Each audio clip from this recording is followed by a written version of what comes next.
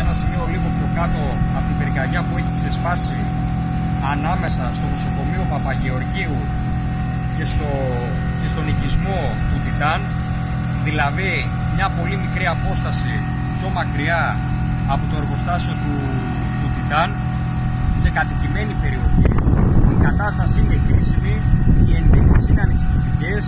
Ήδη φλόγες έχουν ακουμπήσει ένα σπίτι που ευτυχώς ήταν καταλημμένο είναι μια πυρκαγιά η οποία έρχεται ως συνέχεια από αιστείες πυρκαγιών οι οποίες έχουν ξεσπάσει το τελευταίο διάστημα στην ευρύτερη περιοχή με τελευταία αυτή τους ΣΕΙΞΟΥ που κάηκαν 90 στρέμματα δάσους αλλά και στην περιοχή της Πολύχνης με την πυρκαγιά η οποία έχει ξεσπάσει στο πρώην στρατόπεδο Καρατάσου.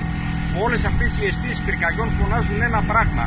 Τώρα πρέπει οι αρμόδιοι κρατικοί φορείς, κυβέρνηση και τοπική διοίκηση να πάρουν άμεσα μέτρα πυροπροστασίας, ενίσχυση τώρα του περιβαστικού σώματος με εξοπλισμό και ανθρώπινο δυναμικό για να μην θρυνήσουμε θύματα, βρισκόμαστε σε επιφυλακή για να μένουμε νέες εξελίξεις και